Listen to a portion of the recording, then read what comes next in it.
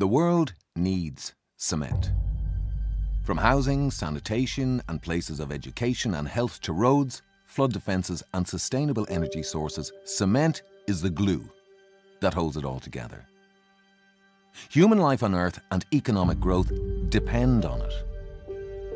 But cement has a problem clinker. Made by the burning of limestone, clinker has always been cement's major constituent and the unavoidable source of its CO2 emissions. And clinker is what makes cement production one of the biggest polluters on Earth. For every tonne of clinker produced, almost a tonne of CO2 is also emitted. This isn't sustainable. Carbon capture has been proposed as the key way of reducing this CO2 pollution, but this requires huge investment and would take decades to have a significant impact on cement, condemning us to failure to align with the goal of net zero by 2050.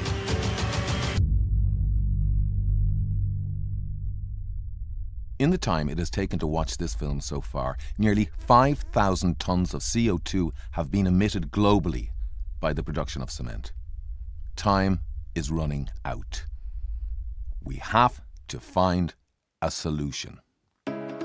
Ecocem has already provided significant amounts of innovative, low-carbon cement for many of Europe's largest infrastructure projects. But we can do better. Now, thanks to a step-change innovation in Ecocem's low-clinker cement technology, we have developed breakthrough globally scalable solutions which can deliver deep and rapid decarbonisation across the entire cement industry. This is an incredible time to be part of this adventure. Collectively, we have the opportunity to transform a major industry and establish a positive legacy for generations.